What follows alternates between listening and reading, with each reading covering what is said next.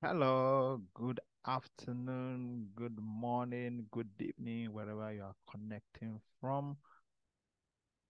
Today, I'm going to show you how to disable control panel and PC settings using the Intune prohibit access. So that's what we're going to show you today quickly. So before I start on that, what is uh, for the benefit of those who don't know what Microsoft Intune is. Now, Microsoft Intune is a cloud-based endpoint management solution which manages users access and simplify apps and device management across many devices, including mobile devices, desktop computers, and virtual endpoints. Now, this Microsoft Intune securely manages identities. It manages apps and it manages what devices. Okay. Now, what are the key benefits? Now, there are key benefits to this Intune why most companies now are, are using this Intune. Now, one of the key benefits of the Microsoft Intune is you can manage users and devices, which includes uh, devices owned by the organization and personal owned devices. So the number two, Intune simplify app management. It simplify what? App management, where you can deploy apps, where you can do updates and then remove apps you don't want for your user. And thirdly, Intune automate policy deployment for apps, security, device configuration, compliance, conditional access, and many more.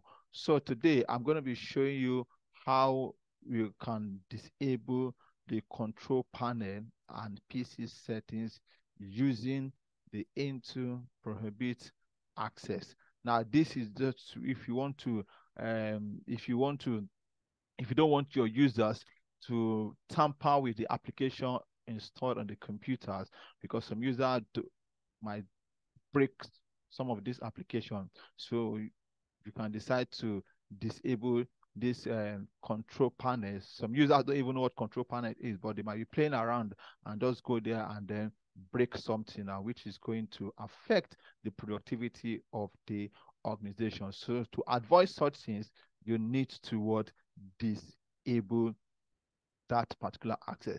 So quickly, I'm going to show you how to disable this in the Microsoft Intune environment. So what you need to do, so where you find your Microsoft Intune environment is when you log into your Microsoft admin. When you log into the admin.microsoft, can you see, I hope you can see my screen. When you log into your domain, can you see now, when, sorry, when you log into the admin.microsoft.com. So when you log into that from there, then you're able to see endpoint manager. Then you click on this endpoint manager. So once you click on the endpoint manager, this will now take you to another environment. It will take you to the endpoint.microsoft.com. Can you see it now? Endpoint.microsoft.com. Now, so how to do that? But before I do that, before I do that, I'm going to show you this thing, how on the prem on the prem environment where you can see where you how to disable this environment. We are not doing the prem the active directory today, but I'm just going to show you briefly how this is being done on the prem environment. So I'll just show you quickly now. I'm going to bring my server.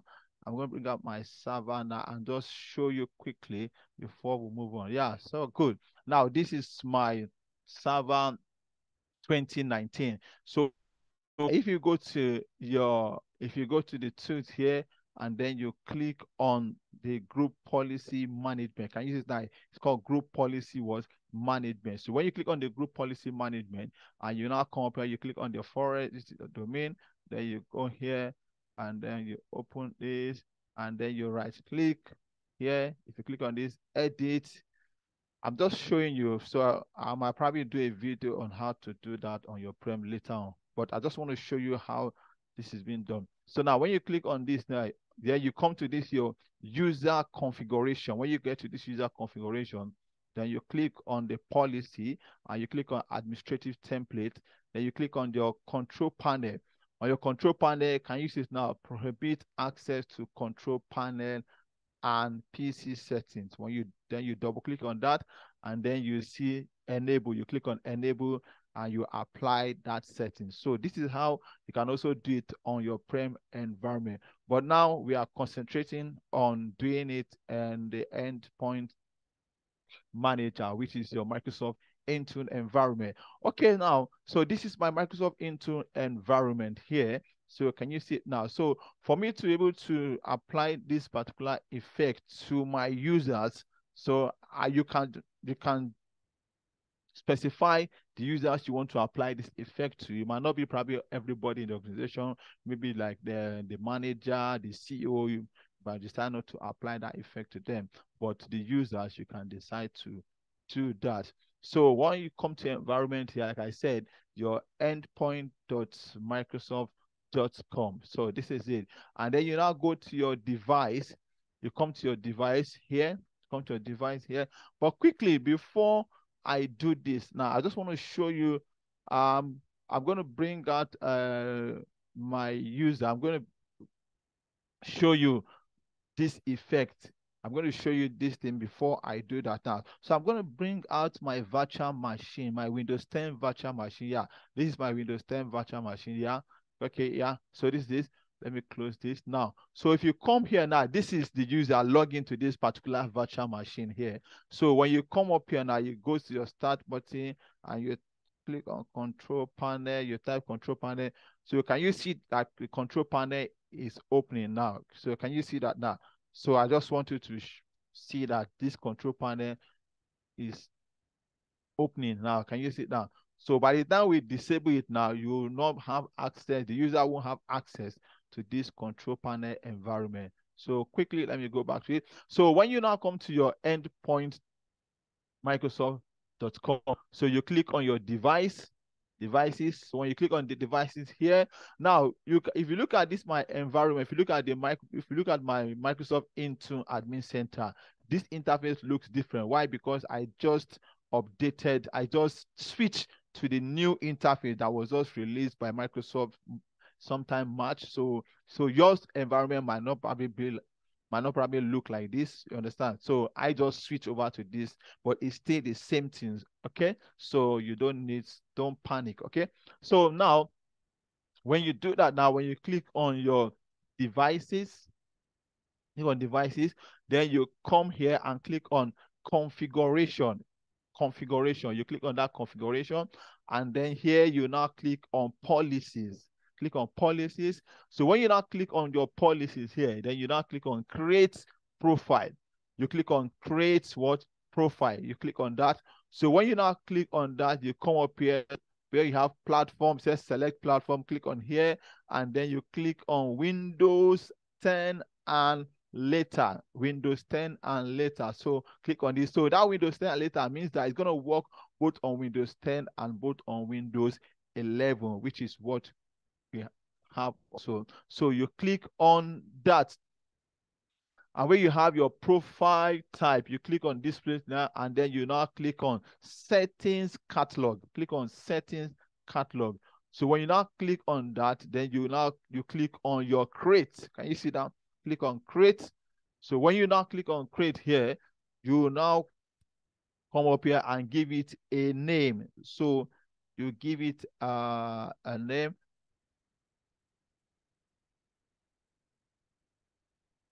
Okay, so give it a name. So I will decide to give it, let me give it, um, spare me a second. Okay, uh, yes, let's give it this.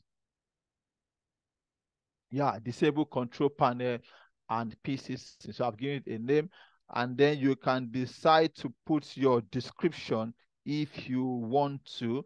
You can decide to type the description. So I'm just going to put this on my on my description. So then you click on your next. Okay, you click on next. Now, when you now click on your next, you have the configuration settings. On your configuration settings, you come here and click on add settings. Click on the add settings. When you click on it now, a drop off component where you have a setting picker. So you come here now. Settings. You can decide to type control panel or you go to creative.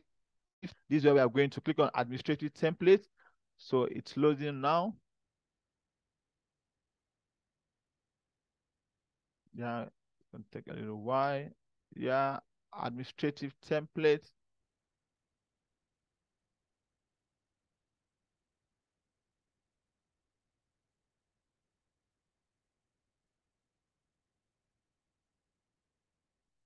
Okay, I think it's not loading me. Okay, so I can come up here and type. Let me just type uh, control panel.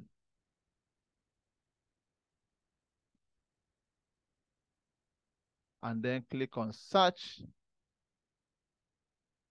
Yep. So can you see that now? Click on search. So this come out and then you now click on administrative template. So click on that. Now, so when you now do that now, you can now see prohibits access to control panel and PC settings. So you check that box. So once you click on that, then you now come here and you click on this, you just click on this toggle, yeah, you enable it. You understand? So don't forget, come up here, you can type in control panel on the search, where you have the search type in control panel, or you click on admin, then you click on this administrative template, and then you will see prohibit access to control panel and PC settings. Then you come here and then you click on this, you toggle this to enable that. And then once you are done with that, you click on your next. Yep, you click on next. And here's where you have the scope tag. You can just decide to just ignore this and just click on next now. Now you have the assignment. Now assignment is that who do you want to assign this particular configuration to? Is it the whole user in your tenant or is it a group of people in your tenant? So I will apply those group of people for the benefit of this training. So now I'll click on this add groups. Already I've created a group and this is it. I've created a, in my in my Azure Active Directory. So I've created a group in my Azure Active Directory. So I have these two users there. So this is the group I created. This is the name of the group, Text Win Client. So I have two members in that group. Okay. So that is it. So if I come up here now, I'll now click on add groups. Yep. Then I'll come up here and I'll search for that yeah so this is and you now click on select. So you can see I have two users. You can see it's showing me telling me i have two users in that particular group. So as time goes on you can add more users to that group and automatically that effect will apply to those users. So now click on your next. Now so when you click on next so can you see now this is the this is what we've done now. We've just enabled this particular settings, okay? And then you click create. Yep, click on create. You see, it will take you a split of seconds. Can you see that now? Policy created. See that this has been created now. Automatically, it should show here for you where I have other policy, but it's not showing for me. So just click on refresh. Yeah, and here you see that particular policy. Can you see that now? So now, how do I know if this policy has been applied to my users? Now, if those users, anytime those users log into their computer, automatically it will be up. But I have my user already signed into this particular virtual machine here. This is my virtual machine. So this is the user, one of the users. So if you go, if I go to my start and then click on this yeah go to start. I just want to show you that particular um, user. So you go to your start. So if i go to my start now i click on this settings icon. Now you come here, account. So can you see that this is the user? You see, so this is the user.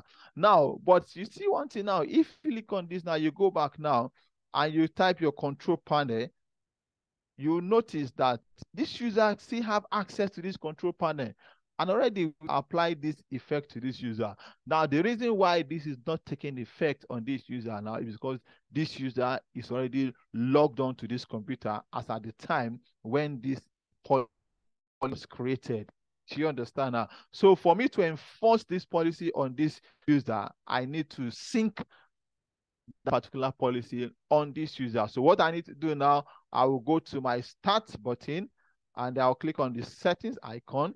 You can see you still have access to the setting icon too. So but once I enforce this policy, automatically this user will not have access to the control panel and the settings. You click on accounts.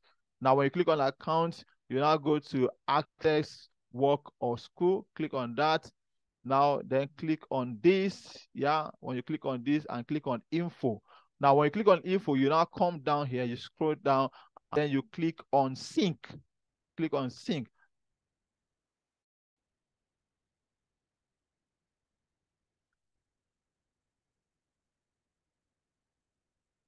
You can click on sync.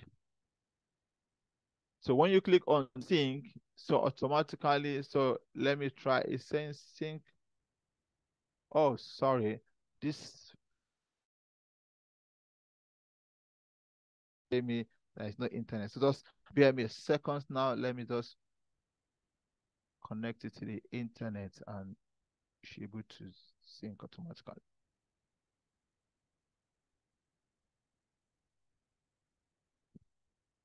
Okay, good. Now I have my internet now on this virtual machine. So I will now click on this sync back again, click on sync. Now you can see the sync is in progress. Can you see it now? So this is in progress. Don't forget this is a cloud. So you, you must be connected to the internet for this to take place. Okay. So I'm going to sync that user. Now it's, it said it was successful. The sync was successful. So I'm going to close this box now and then try and see if that policy has been if if that policy has been applied to this user. So go to your start button now, click on settings. Uh so can you see what happened now? Can you see? So you click on it. See now that setting box automatically disappear. Now let me open control panel and see if this user will have so click on it. So can you see now? Unfortunately, said this operation has been cancelled due to restriction due to restriction in effect on this computer. Please contact your system administrator. Can you see it now? So automatically, these users in this group, can you see it now? Will not have access to that control panel and the PC settings. You can see now, I log in to this particular user on my virtual when I do that, I, as you can see, that user cannot log in. That user uh, cannot have access to control panel. Again, let me try that. That has taken effect. So this is just similar to what we call on-prem environment. So we can see how this as is, I mean, it's also been applied in the Intune environment. I hope you do enjoy this short video. Thank you for taking your time to watch. Please kindly like to my YouTube channel, like, follow, and share. Thank you. See you in the next video. Bye-bye.